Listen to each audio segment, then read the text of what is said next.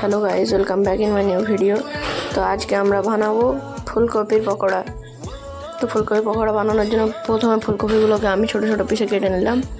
দেখো এরকমভাবে ছোটো ছোটো পিসে আমি প্রায় হাফ ফুলকপি ব্যবহার করেছি।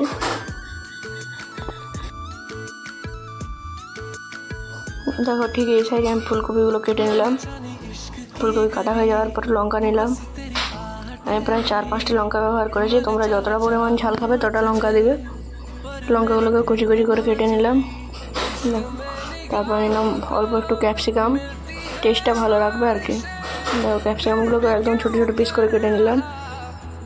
একদম ছোটো ছোটো কাটতে হবে যাতে দাঁতে না লাগে। দেখো, ঠিক এই সাইজে তারপর নিলাম একটু রসুন। আমি প্রায় দশ কোর মতন রসুন ব্যবহার করেছি। দেখো, রসুনগুলোকে ছাড়িয়ে নিলাম। তারপর নিলাম অল্প একটু আদা। আদাটাকেও কুচি কুচি করে কেটে নিয়েছি। দেখো, একদম কুচি কুচি করে কেটে নিতে হবে। এই যে ঠিক এরকমভাবে। তারপর নিলাম একটা গোটা পেঁয়াজ। তারপর নিলাম লেবু। আমি হাফ লেবু ব্যবহার করেছি। দেখো, তারপর ফুলকপিগুলোকে ভালো করে ধুয়ে নিতে হবে। ধুয়ে নেওয়ার পর জল ঝেড়ে গ্যাসে কড়া বসিয়ে জল গরম করতে হবে। জল গরম হয়ে গেলে তাতে অল্প একটু নুন দিয়ে ফুলকপিগুলোকে সিদ্ধ করতে বসিয়ে দিতে হবে। বেশিক্ষণ সিদ্ধ করা যাবে না, প্রায় ওই তিন চার মিনিট সিদ্ধ করলেই হবে। তারপর তুলে নিয়ে সেগুলোকে আবার ঠান্ডা জলে ধুতে হবে। তারপর একটি বাটিতে আমি বেসন নিয়ে নিয়েছি।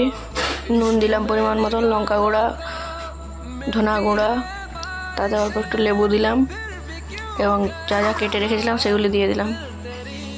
অল্প অল্প জল দিয়ে ভালো করে ফেটে ফেটে মাখতে হবে। দেখো। ভালো করে ফাটতে হবে। তাহলেই মুচমুচে হবে। তারপর একটা একটা ফুলকপি নিয়ে এরকম বেসনে ডুবে তেলে ছেড়ে দিতে হবে, তেল গরম হলে। দেখো কি সুন্দর সুন্দর গোল্ডেন ব্রাউন কালারের ফুলকপির পাকোড়া হয়েছে। ভালো করে দুপাশ লাল হয়ে গেলে ভালো করে ভেজে তুলে নিতে হবে। তা আজকের জন্য এ পর্যন্তই।